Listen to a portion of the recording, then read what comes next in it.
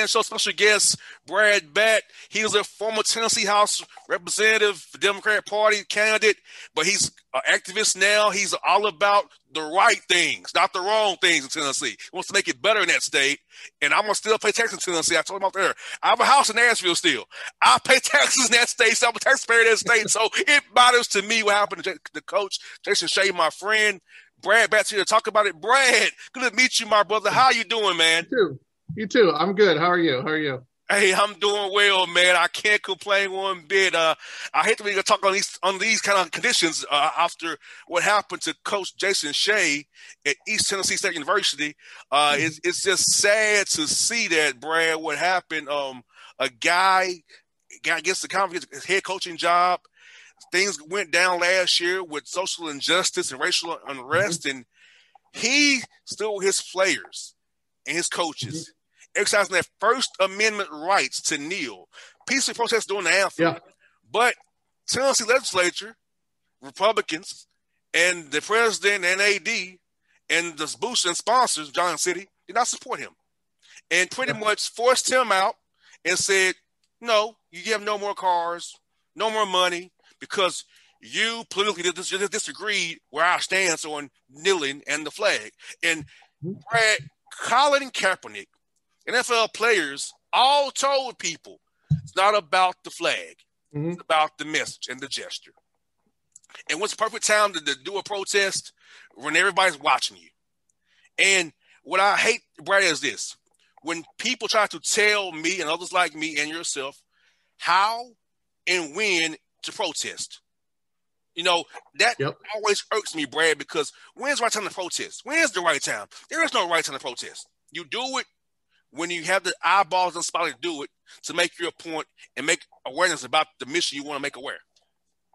Yeah, that the whole point is to bring attention to an issue, right? And uh, unfortunately, you're spot on. And East Tennessee is behind the rest of the nation. This is a nationwide issue that everyone other than those that are purposefully ignoring it, knows we still in 2021 have race issues in America.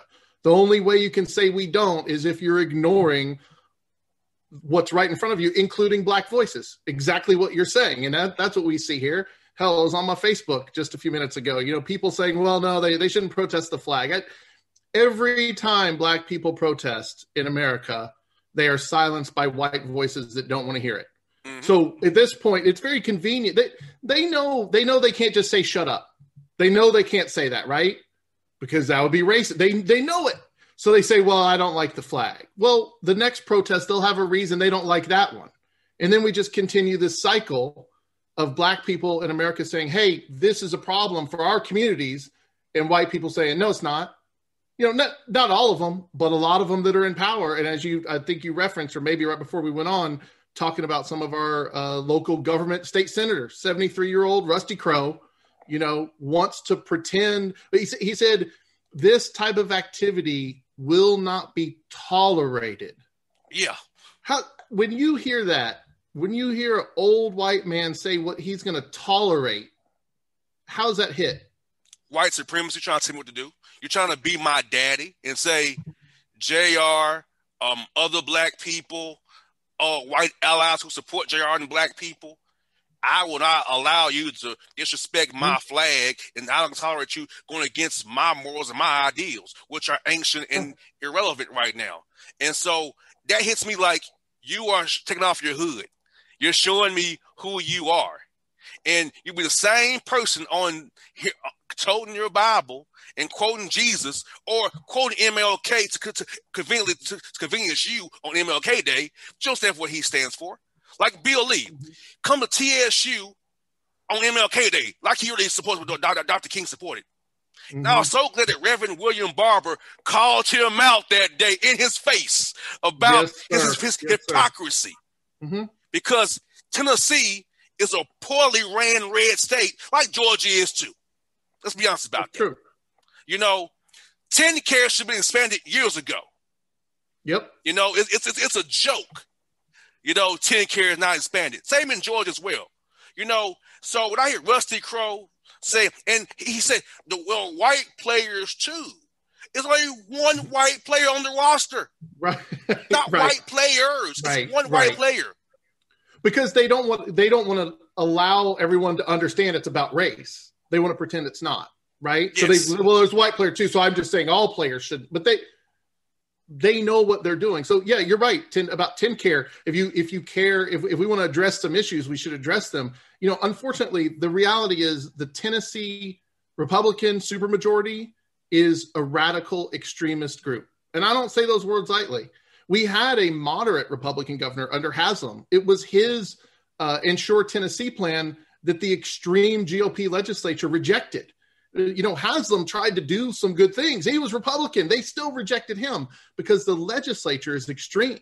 We, we still have literally the bust of the first KKK Grand Wizard sitting in the Tennessee State House. Yes. Nathan Bedford Forrest. This isn't this isn't a guy who was marginally collect, connected to slavery. This isn't a guy who maybe said some racist things. This is literally America's first KKK Grand Wizard, Yes. and it sits in the hall of our Tennessee State House. So black legislators like your friend uh, Representative Dixie have to walk by that. Every Tennessean, every black Tennessean that walks in there hoping to get a representative to address some of their issues walks by this bust put up in 1973, the year Coach Shay and I were both born, by the way. I just looked that up earlier. And for then that entire time, my lifetime, 48 years, this bust to this KKK Grand Wizard, Wizard sits in a place of prominence in the house where we purport to make laws for equal justice for everyone. How could and and it's been a fight for the last couple of years to get rid of it. It's still sitting there today. And I think the question is if this legislature can't do the simplest of things and say we're not going to put a bust up to a KKK, America's first Grand Wizard, that's a simple one. How are you ever going to address some of the systemic racism problems in America and in Tennessee? How how can we ever trust you with complex problems when y'all can't even do the simple ones? That's the simple one. Exactly. And you know, it's obviously a problem because like look here, as you and I both know, Tennessee needs expansion of, of health care and Medicaid. Mm-hmm. Tennessee needs a fifteen dollar minimum wage, but unfortunately, and I'm gonna say it because I'm, I'm, I'm I keep it real. The poor people in East Tennessee, the Mhm. hills of West Tennessee, and outside of Nashville and Memphis, they just are been, been bamboozled by by by, Yeah. by by the big lie that hey, because you know you're white and these black and brown people trying to take stuff from you. That's not true. This has been Nope. the, the Southern strategy for years to divide poor whites and poor blacks and poor Latinos and Hispanics from coming together because they come together collectively, they're out of power. And Yep. and they, they use that whole way of race as a way to keep them at bay. So, yeah, I don't want them to have my stuff. And I'm like, right. you should you need health care. Why are your rural hospitals closing? Why people Mhm. like Johnson City Honda allowed to disparage Coach Shay's coaches because of their warped racist views, but will tell you in a heartbeat they love Jesus. I wonder who are you praying to? What Jesus do you love? Because if you love the Jesus I love, you ain't praying to the same guy based on what you're doing. Yeah. Yeah. Yeah, but we're gonna we just passed the bill that's gonna make the Bible the official book of Tennessee, you know. But at the same time, I mean, I, I'd like them to open it every now and then, you know, talk about feeding the poor and taking care of you know widows and children and making sure, you know. But somehow those parts of the Bible, I mean, I grew up in church and I've been to Bible study and I've led them and I've read them and the whole thing, so they can't, they don't fool me. But we have a lot of politicians in the legislature that are willing to hold up a Bible, but they've never cracked it. But you know, let let's go. Let's talk about the Coach Shay situation specifically, because right now, what's going on with because Tennessee politics, clear. I you know I ran for House. I can talk politics all day, but I could talk sports a little bit too. They're trying to fool us right now, as if we can't see with our own eyes what's happening. We Mhm. Coach Shay was a first time Division One head coach. He has a long record of being an assistant, including many years at Tennessee when, when they their program uh, was doing really well. He has a, he has this long track record. I think it's five years. He was an assistant here at ETSU before Forbes left. Mhm. So we have last year we have this great men's basketball team that we're very excited about, and they and they had their tournament berth stolen because of COVID a year ago. They were 30 and four. I mean, if like, I don't know about you, but I was excited. You know, I was. I, I love oh, Forbes. I love. They're like, yeah, Steve is my guy. Prime to make a deep run, right? Who doesn't love seeing like a mid major make a deep run a tournament and knock off a couple of big time schools? And they had that st- taken from them, you know. And then Steve Forbes left. Why? Because that's what coaches do, right? Is isn't that if you're a coach, if you're an assistant, you try to move up until you get that head coaching job, right? Yes. And you build a program, and then at some point you might get hired away because you've built, and that's exactly what Steve Forbes did, built a winning program. Now he's at Wake Forest, right? So here comes first time Jason Shay. And you're going to tell me this guy that's been assistant for all these years, after one year as an NCAA head coach, Division One, in a program he's already been in for five years, where he cares about these players, where they say he treats them like family, where that you've you've created a culture in this basketball team. You're going to tell me one year into a three year contract he just resigns? Come on, come on, don't don't lie to us. Just be honest about it. He didn't walk in there and just resign. We all can read between the lines. There's pressure here, and so the owner of JC Honda has already admitted that they pulled the cars. The players knelt, and actually they've been doing it for a while, right? But then it got in the paper, and then so you know people got mad. It's something they weren't even at that game, and they got mad that this happened, and they're just mad and and so I'm going to pull the cars. I'm going to pull the cars from the coaches. This is what he's admitted to. He he didn't like the kneeling, so he's going to pull the cars. Why? What does that accomplish? It shows who you are. That that's literally the supremacy. It's trying to hold your power yeah. over someone else. Why don't why don't you try to learn from this coach? Do you think he doesn't know his players better than you might? You know, exactly. Johnson City Honda owner. Do you think he may not understand? Why don't you listen? Why is it that we always have to listen to the person who's got the money and the power when their opinions are ignorant of the situation? and they're oh, trying to say what the, these these old white men are trying to say what these young black men are protesting for, but they won't listen to the young black men. And I, I don't understand it. I don't understand why we can't listen when someone's saying, "Here's something I feel so strongly about." I'm going to kneel. They, know that's going to cause controversy, right? Mm-hmm. I mean, the Colin Kaepernick happened four years ago. We, we're this isn't new. They they know, and so they say, "I still feel so strongly about it. I'm going to do it." and and then these guys like Joe at Johnson City Honda won't even listen to these young men. Uh, you know, I, I, find that really sad. Well, Brad, I'll share some with you right now.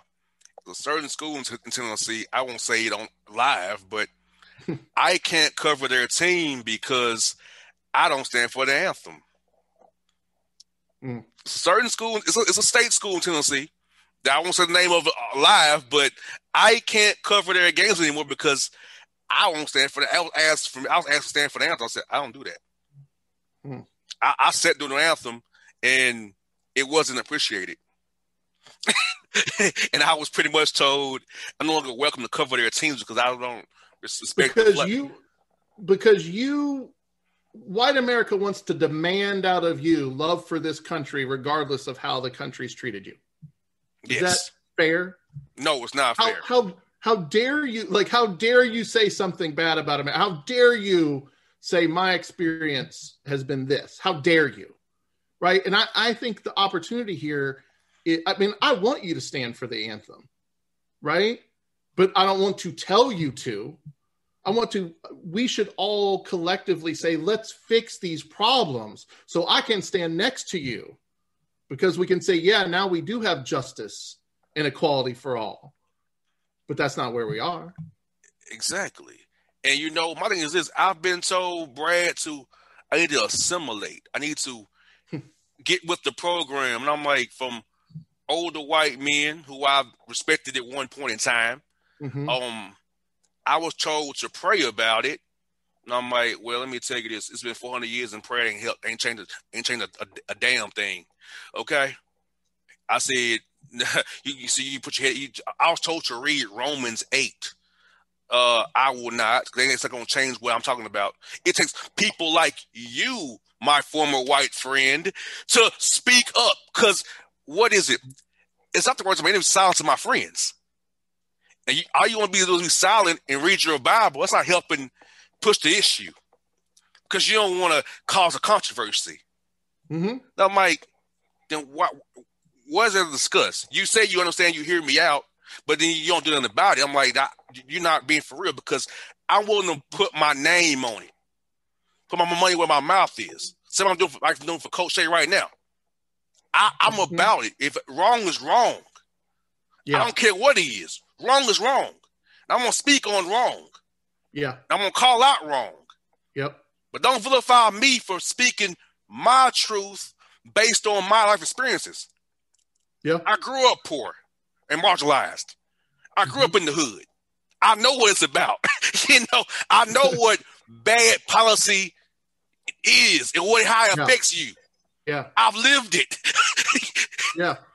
Yeah, so so let's and I when I hear my white friends tell me this, I'm like, you don't you don't I said you don't even know the half. So if you don't want to even open your ears, don't give me what you think it is. I'm telling you, for as a 34 year old black man, what life is, what life is. Yeah, yeah, yeah. And why can we not listen?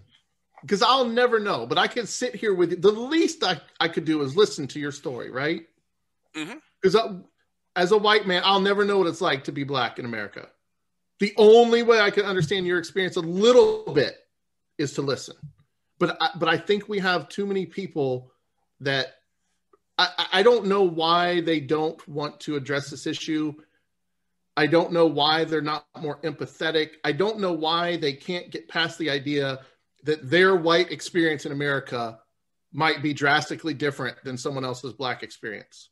I don't I don't think it takes a deep reading of history or news to understand. Like, it can't be that everyone else is wrong. I mean, we just saw today Major League Baseball pulled out of Atlanta of the All Star game, right? Was it Atlanta or somewhere in yep, Georgia? Yep, Atlanta.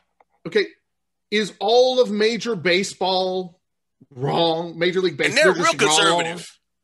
They just want to be woke, right? They're just virtue signaling all the crap you hear. They're just no. We have we have actual a political war going on right now where yes. Republicans are trying to take away votes from people of color to the point in Georgia where they're making it illegal to hand out water and food to voters in line. I'm not telling you anything you don't already know, but someone might not know this. Like, and why? Because they rigged the polling system so that if you live in the white suburbs, you breeze in, you vote, you leave, you're in and out in 10, 15 minutes. But if you're in a black community, you wait in line for six, seven, eight hours. In what world? They could have passed laws to say we're going to make more polling places. We're going to ensure voting never takes anyone in America more than 30 minutes. We're going to do these things. No, they said we're going to we're going to make it illegal to hand out water. Yes. I, I mean, I, I, can't imagine waiting in eight hours to vote. I have never Some people 10 into during the primary in June it was raining that day in mm-hmm. Atlanta. It was raining. People there for eight, nine yeah. hours in the rain could have got sick in the middle of COVID. But Brian Kemp, right. the Purge pimp Brian Kemp, the mm-hmm. cheat himself, did it. And the machines were down that day too. They got to go, go to court, get it, get it hours extended. So he mm-hmm. plays with the machines. He purged you without you telling you. And people talking about Brad Raffensperger. He only did what he had to do because he was on tape with Donald Trump. He's he's no hero. He's no saint. He's all for it. Gabe Sterling too. All of them, they're all about suppressing the vote. These are the rules, Brad, that they pass themselves. Right. And right. we use their rules and outnumber them. So mm-hmm. therefore, mm-hmm. they change the rules again. It's the same thing. We're repeating it over and over, right? It's a poll tax, but it's a new one. Yes. It's a new version, same as the old one. And, and they want and they always want to talk about respect. And so black players kneeling for justice is disrespectful. You know, if you get angry, that's disrespectful. But these old white people go behind closed doors and create laws that are disrespectful to freedom, to justice, to equality, to our Constitution, to everything we pretend to hold dear but they do it in a you know they don't curse and they don't raise their voice. They're just very civilized right? And they go in and they write laws that take away rights from people. That's not respectful. You know so so i don't it, it, doesn't hit with me very much. I see this a lot in the tennessee legislature when they get called out you know they kind of have their you know they clutch their pearls and like well i take offense to that and you know have a real like moment like they're gonna you know oh my dear. When, when they get called out for things they're doing that hurt people and you know un- unfortunately they just don't they don't get it they don't see it. the Rusty Crowes of the world the Lundbergs whether purposefully or out of ignorance they don't get it and I, i'm not sure if it's purposeful it feels like it sometimes because i don't think it's that hard to learn to listen to read They don't want to learn. They don't want to learn. yeah They don't I want to. That's what it, so they don't at- care. Yeah, so look, I mean, look at the opportunity right here we had, unfortunately, with Dr. Brian Noland at ETSU, the president. This is an educational opportunity right in front of us. And what we do? This is, a, I know you're educating the students at ETSU, but you're the university in East Tennessee, and this was an educational opportunity for our entire community. And if you had the guts, you could have stood up and you could, and you, but instead, and I watched a lot of the uh, Zoom conferences with Noland and the and uh, Lundberg especially, and others on committees, and and Lundberg and them they have a lot to say when it's on committee. And Lundberg said that's like flipping the flag the bird. No, it's not. He just reframed that so he could decry it. He reframed kneeling, which has always been a sign of respect. I mean, it better be. I, I knelt down to propose to my wife. I better go apologize if that was disrespectful, right? Of course it's not. It's Mhm. completely respectful. You kneel and you kneel to show respect. You kneel when the when a, a referee went down the game the other day. I don't know if you saw that Bert Smith. The other other people knelt by him. Like when someone's Yes. in help, you you you kneel by the when a, a player's injured play football field, and get injury. take- we kneeled with our helmets off. A knee. That's not out of disrespect. That is that is the pinnacle of respect. But when black voices start being heard, the white racists they don't want them hurt. so they're going to find some way to try to twist that narrative to say that their action that we all can see is respectful. Yes. dis- and, and so I'm so I'm so tired of that. I mean, you and I both know with Colin Kaepernick and uh, uh, who's the Green Beret, uh, Nate Boyer. Yeah. right. He's the. They sat down as men, and uh, I mean Nate Boyer sent him a letter and said, "I don't like what you're doing. I want to talk to you about." It. And they sat down as men and hashed it out, and, and then they had they came away with a greater understanding to the point where Nate said he's not going to kneel, but he's going to stand by Colin while Colin kneels. To me, that's solidarity. That's you, you know, Exactly. like okay, I'm, I'm not going to take your exact approach, but I see what you're doing, and I see who you are, and I understand a little bit about you. And Colin Kaepernick said, "Well, I don't want to be dis. I want to make sure that you know I don't I, don't want anyone to be offended. I just want to you know the the attention to be brought to Black lives and to justice, and so they understood each other. So we had this moment here four years later in East Tennessee because we're always a little behind. We're trying to catch up, right? We had that moment. This was our moment, and right and and so far right now we've blown it. We've blown it. We don't have a greater understanding. We we don't we haven't listened to black voices, and now we've literally run young black men out of this town because it, why would you why would they stay? They see their coach being run off. Mhm. why that was probably their lifeline. Yes. i mean you know so why they're going to stay in this town? They if a middle-aged if they're going to run off a middle-aged white coach if i was a young black man i'd be thinking well, what are they going to do to me? Yes. i, I don't know. I, you know i don't blame them for leaving. And what have we learned Nothing. And all these years, and Brad, and, Brad, what I've said on this show before, previously is that race. This is what the, the conservatives do and Republicans do. They they twist their racism up behind the pa- pa- patriotism. They use patriotism as the way to cover their racism. Oh, we're about the flag. We're it's about the flag. It's about the country. Um, the country you love was built on the backs of my people. Mhm. Like I didn't, my ancestors did not ask to come here and get brought. They didn't ask to be brought to Georgia, but they were. Right. They was not asked to. They they was fine over in Sierra Leone and in Ghana, where, where my roots trace back to. They was not. They were not at, trying to come over to South Georgia yeah and migrate to Macon, then to Stockbridge, and then to Atlanta. That, that that was not the part of the plan. Mhm. And when you hide behind the flag and patriotism to do your racist tropes and your racism, I, I reject the notion because I know that the flag is used as a way to just be racist. It's it's, it's the cover and the shield. But the NFL, all like even the NBA almost to a degree, the same thing. And, and I reject the notion. it's like you love the black culture, you monetize the black culture, but you don't love mm-hmm. black people. And and same with me in advertising. Like, since I'm black owned media, I don't get the same rates as I was black targeted media. Hmm. I catch it in advertising. If I went to a third party agency that was for black targeted media, I would get my money for ads than I do get going out there myself. Hmm. So systemic racism is in every facet of life. And they have guys like yourself, Brad, Coach Shay, Carmen Maciariello at Siena, people who actually care about young black men and being an advocate and allies. It's it's amazing to see. This is where America can be mm-hmm. if the majority of people mm-hmm. get on board with that. But there are these these these these last the last stand I call it the last call of these racists who are getting older and aging out, but they mm-hmm. still have power are preventing us from progressing forward. That's why they doing yeah. laws in Georgia, Tennessee. You got Arkansas, Alabama, because they want to hold on. Say it's their last stand before it all mm-hmm. the dam breaks. You're out of here.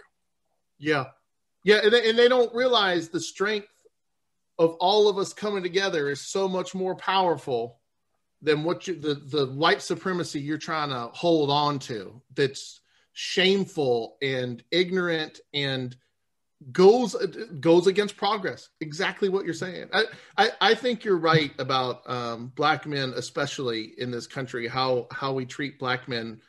Um, and, I, and I've thought back because I am very much a uh, an outsider in my family, extended family. I come from you know a white conservative family in the South. I was born in New Orleans, and I see things differently than them, uh, including on issues of race, uh, several things, but on race and I think part of it for me is that, you know, I refereed basketball for a long time in Houston uh, for 15 years, high school. I loved it. Um, I, I refereed college for 10, division one for seven, uh, and the Southland Conference and Summit League conferences like the SoCon, you know, uh, with ETSU, schools like that. And, uh, but I loved high school basketball too. And I've refereed all over Houston and I refereed with a whole lot of black men officials. And I, and I saw a whole lot of black players and black coaches And I think America is still so segregated that I think a lot of people don't have experience um, being around other people, and I think that especially holds true here for East Tennessee. You know, I've had that experience, so I I, I see all all different sorts of black men, right? I mean, but I, I don't. I think so much of white America in East Tennessee, we have this problem. We're so segregated. It's so white the only black men they know is maybe what they see on TV or on the news, or and, and so they mm-hmm. they stereotype tens of millions of people into like this one idea instead of realizing yes that you know men are men. Just we have a we have a diversity amongst black men that are different personalities and different things, and we're still working our way out of that. And and and you can see it now. America is just like starting to see black men in certain jobs that they were withheld bef- before you know they were prevented from having before and and all that coming out and and so i mean here in east we, we've we've got to wake up. I don't know how we do it. I, I don't know how to kind of take that experience um and and get people to understand to see outside their bubble a little bit and to see that yes. to see other people as human. I, I don't know how to make that happen. I, you know I don't, and, and it's very, it's uh, it's just really disturbing that we're still judging people and dismissing voices when people are crying out for help and saying our community needs help. And I, I think dismissing those voices is so uh, harmful, um, and it's hard to believe we're still there. Yeah, and you know what, Bray? It, to me, it, it's it's like I expected. Now I should. I, I, I when I don't get help, it's like I expected. When I get to here, I help, I'm kind of shocked because it's, it's in my career, I've tried to break down barriers, but I'm told I'm too loud or I'm too radical. I need to tamp things down. How I criticize the other side.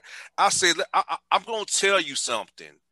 I'm not really a Democrat or a Republican. I'm a black man, so I vote black interests versus white nationalism. So that's how I vote. Okay. Yeah. And most majority of times or not, it falls on the D side, the blue side. Because yeah. ours not doing nothing doing nothing to help black interests. Besides, if unless you're rich already and you want to go there for tax break. So mm-hmm. I vote based on black interest versus white nationalism because in Georgia, outside of Atlanta, it's the deep south again. Yeah. Outside of Nashville and Memphis, Tennessee's the deep south. You know, Alabama, Birmingham, Huntsville, the black belt around Montgomery, it's the deep south.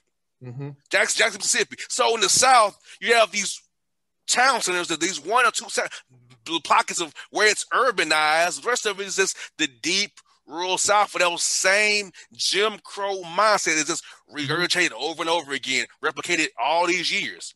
And you can't mm-hmm. Go there and break that generational curses because they've been so grounded in those thought process. Like when we went out in Georgia campaigning for Warnock and Ossoff them small counties in Georgia, mm-hmm. you know, it was a shock, Brad. Some things I heard. Mm-hmm. You know about oh you you you look very nice and you know thought you would be a thug. I'm like, are you kidding me? Like yeah. just outly saying when somebody said son to me, I'm like, hold on, you don't say son. That's let's not yeah. say son. Yeah. and, oh boy, uh, I said I'm I'm I'm I'm here on third party business, but I, am still Jr. And I'll tell you how I feel. Let's, let's not do that. you know, so but so even to, even the compliments are have that racial undertones, right? Oh, you look nice. I thought you would have been this. I mean, like that that speaks to the mindset. Yes. Of I'm going to categorize all black people in this this segment, and so I'm surprised when someone doesn't fit my stereotype we we've got to do away with that mindset, you know, and, and that's why I I think it's so shameful that that people are are dragging uh, Jason Shay's name uh, through the mud. I mean, I don't know. You know, Jason, you've talked to him. I've never talked to him. I don't know him personally. I just look at it from the outside from basketball. Like this guy looks like a conscientious coach. You know, I always like coaches that stood up for their players and fought for them. Yes. I mean, this guy checks all the boxes. He like he, he's a guy. If you were a parent of, of, a son going to play, he seems like the type of coach you would want to entrust yes. your son to go play for. And so for these people, for for you know the the the people from JC Honda and and and other organizations, and I, my inbox, you know, people rumors are flying around here, and the the the light will be sh- shown on who kind of had a hand in all this stuff. For them to disparage him and not to step back and think, well, here's this coach that's been in this program for so many years. Maybe he has some insight that I don't. And to sit down and listen, they, they don't want to listen. They just want their voice to be heard. They want their opinion to be heard. They want black people to do what they tell them to do, which is stand for our flag. Don't protest when it's inconvenient for me. Don't take me out of my white comfort. I just want to come watch a basketball game and you owe me that. I don't want to have to think outside of mm-hmm. that.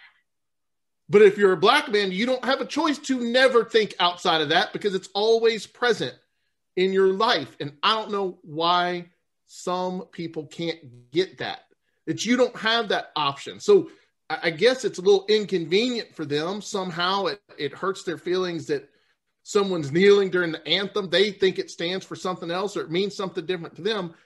I think instead of demanding, demanding that someone else do something that you want them to do, which is the very opposite of freedom.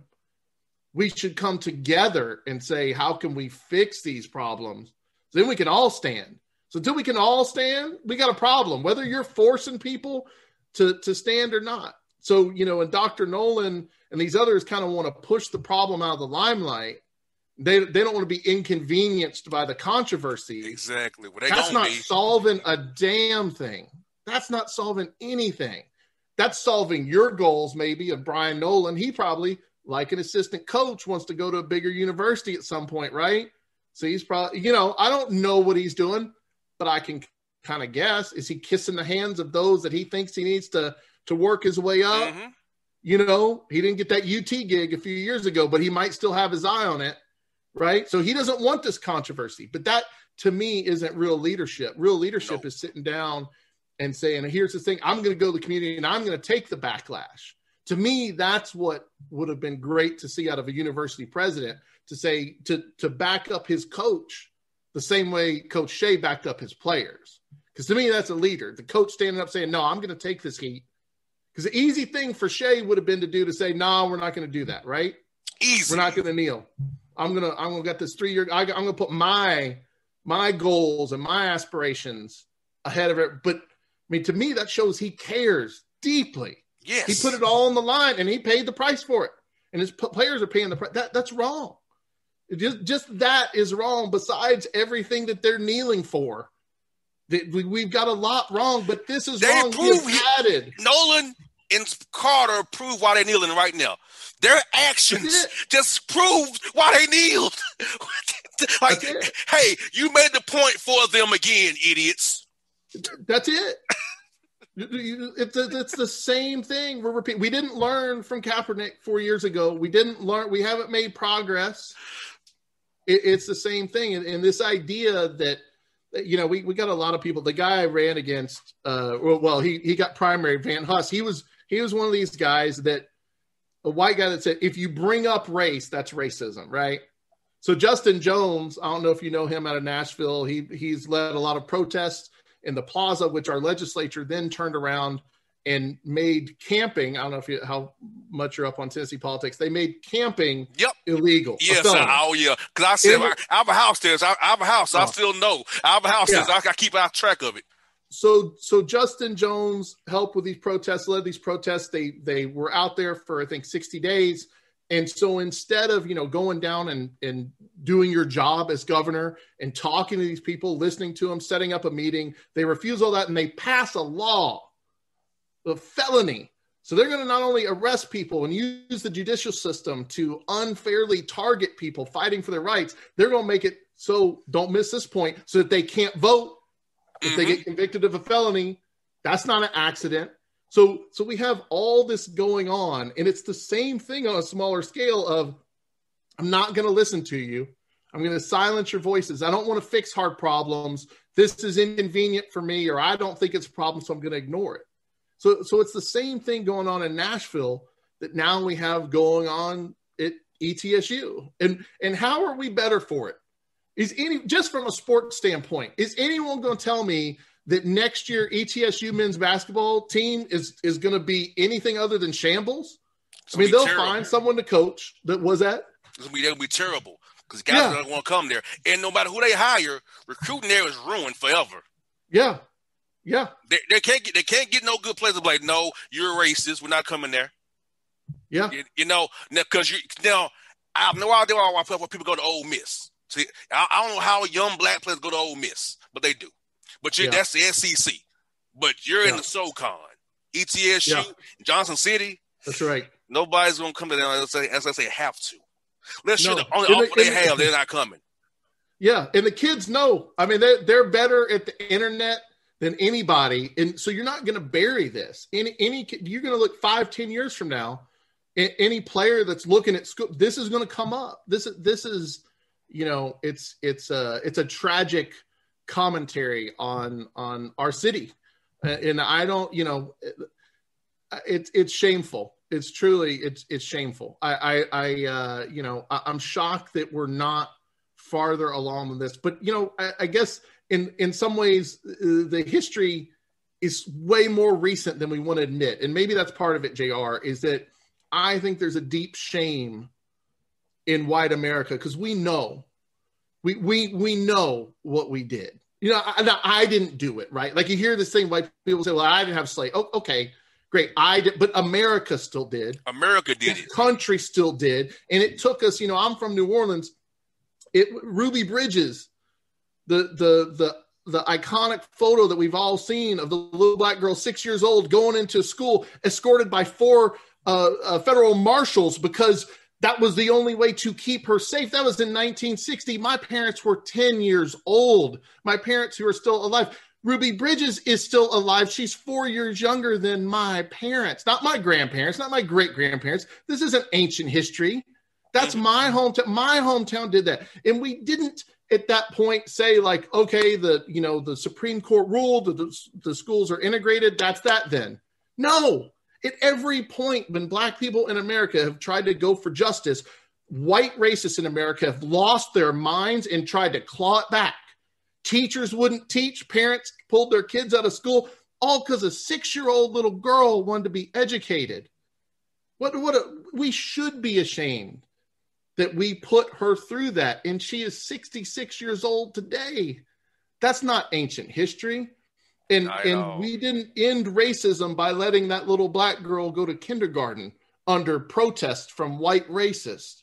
We still have problems that we've got to unwind, including generational wealth that people have been locked out of, property that's been confiscated, the opportunity to own land denied, the opportunity to vote denied. Like and then today to look at like the Georgia legislature and the Tennessee legislature and these grasps for white power that they're still trying to make in response to black people gaining a little bit of freedom is just reprehensible. It's and so we can't. So it isn't the the basketball and the firing of Coach Shay and the, all this is a microcosm of everything bigger that's going yes. on in America, right?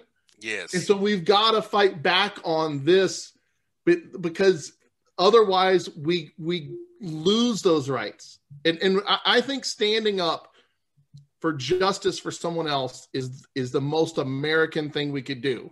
Right? It's yes. the most if we want to say we love America and we love that flag, stand up for someone else. It's easy to stand up for yourself. It's the easiest thing in the world to fight for your own what you want, right? But stand up for someone else especially white people who are in a position of power and privilege and they you don't have to worry about the things that black people face every day when they try to get a business loan or like like you're talking about in your business trying to navigate certain the media as a black man and like these things that we just don't see it it doesn't happen to us so the, the least we could do is listen to the stories i think of you these young men and collectively black americans say okay, we're going to try to understand what you're going through, and then we're going to try to help. Like Brad, I shouldn't have to send a white face to talk for me, and, and I come in the clothes. Mm. I'm going to use that trick, Brad, to get stuff done. Yeah. I shouldn't have to do that, but I, but to get what I need to get done, I have to use sometimes a white face, would be my a, a, woman or a male, to do it for me, and I come in as the clothes. Hmm or I don't use my full first name just to hide and go by JR to kind of wedge in. So these are things that I have to do just to survive. That yeah. I had to learn how to get by, and that's this is America. And, and now, now people say all the time, "We're building this." No, this is who we are. We yeah. need to accept who we are, and yes, we need to be better. But this is who we are right now. That's why I get just President Biden says we're building this. I'm like, no, this is who we are, yeah. President Biden. You know this. Yeah. Yeah. We, this have isn't to, new. we have this to be better. This, we have to be better, yes, but this is who we've been for years. The question is, who who do we want to be? Who do we want to be? Mm-hmm. Not who we are. You're right on. That is who we are. We're always finding some group to hate. Why? Why? It's we're all we all want to sit down with our family and eat and our friends and have a job and have community and d- do meaningful things and have like we just want to live our life. Everyone, we're all the same. We're, yeah, we're different, but at our core, there is there is power in understanding how how similar we are. Yes. But, but we have these people. You touched on it earlier. I mean, in Appalachia it's very true that we have a lot of poor white people that have been locked out of education and healthcare and wages and all the and I think part of the problem in our politics today is that it's just easier to get a poor white man to hate a poor black man than it is to solve the problems. And they do it while they're robbing us blind. These mm-hmm. guys in power. Rusty Crowe's been in office for 30 damn years. He was a Democrat at some point. He changed when the wind shifted in Tennessee, he changed to be a Republican. He's just keeping his seat. He's nice and fat and healthy and got a, you know his his position of power and making money and he's not trying to do a damn thing for anyone. I, and I just have no respect for how lazy Republican politics have gotten. It's race baiting. It's it's creating controversy. It's rage inducing. Like they they just they drum up these ridiculous culture wars on yes. everything from Dr. Seuss to Mr. Potato. They do it.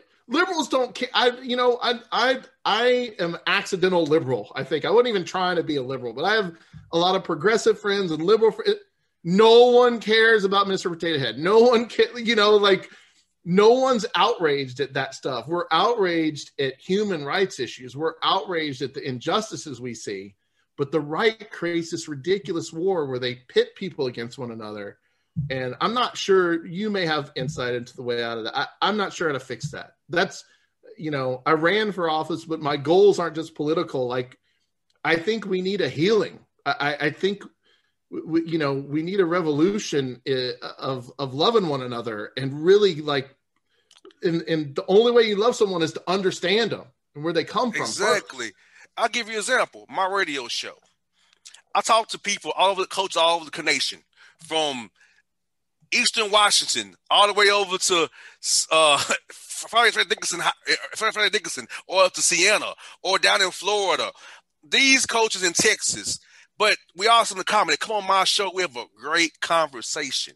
Me, mm-hmm. a young black dude. A lot of these coaches are white in these country areas, but we connect over basketball and mm-hmm. find a common ground on basketball and build a rapport off of basketball, sharing stories off the Zoom call after the interview ends. Mm-hmm. So my method is using the power of the platform to bring people together to answer tough questions, ask tough mm-hmm. questions about experiences and hear your experiences. Here, tell you my experiences and f- figure out where we meet. Like I talked yeah. to Coach this week. He talked about how he was from a small, poor city in Wisconsin, and now he's a head coach. I talked about how mm-hmm. I grew up in the poor area of Atlanta. Look at me having a radio show. We're on a, we're on a show together, talking mm-hmm. about both our successes.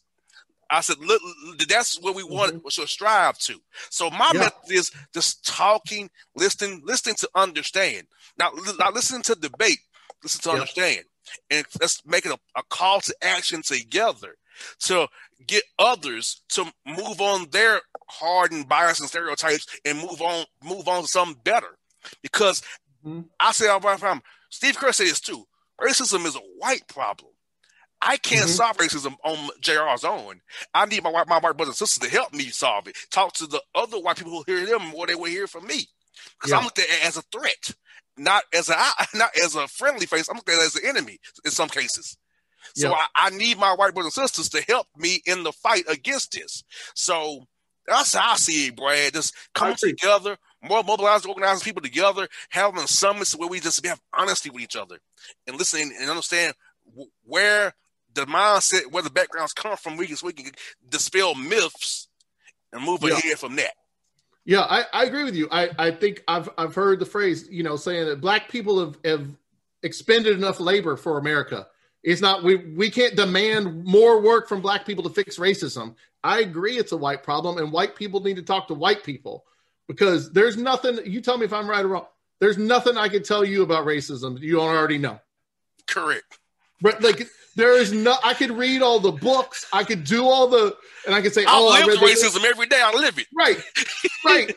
so I could read it and be like, "Oh, that's really. Oh man, this is revolutionary." You'd be like, "Yeah, I, I live that, Brad." Like you, I can't tell you about your experience, and, and that. So I think it is incumbent on white people to recognize this problem and to challenge in those, you know, those white work workplaces and white uh, uh, organizations and stuff when people who are racist say stuff, and too often they get away with it.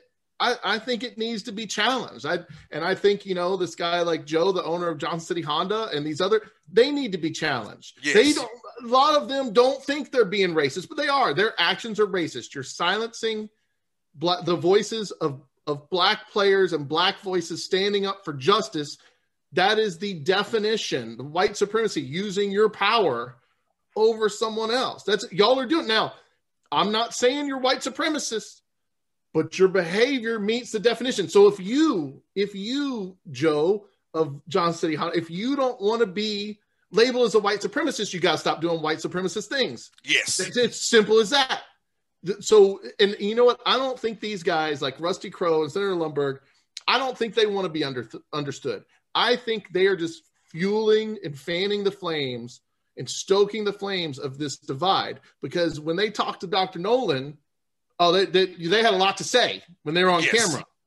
But then I know you saw this when Justin Kanew of the Tennessee Holler had got him in the elevator doing an interview. Oh, they shut up real quick mm-hmm. when they had tough questions being asked of them.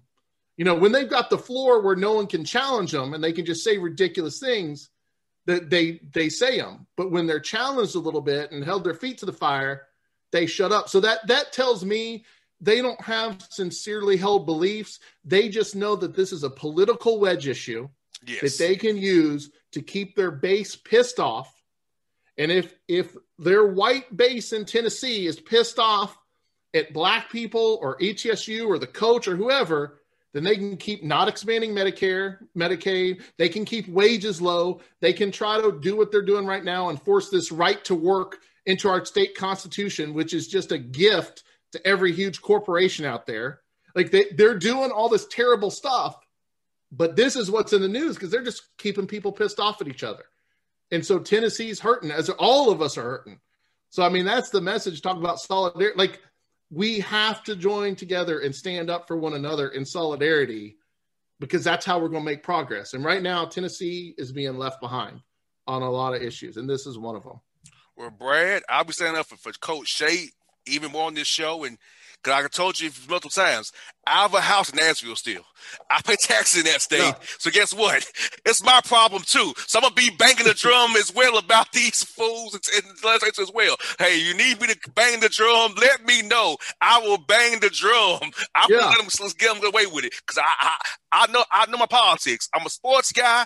I know I love politics as well. I know, I'm know my politics. My master's degree is in public policy, so you can't fool okay. me. I know how. I, yeah. I know how the cake is made, suckers.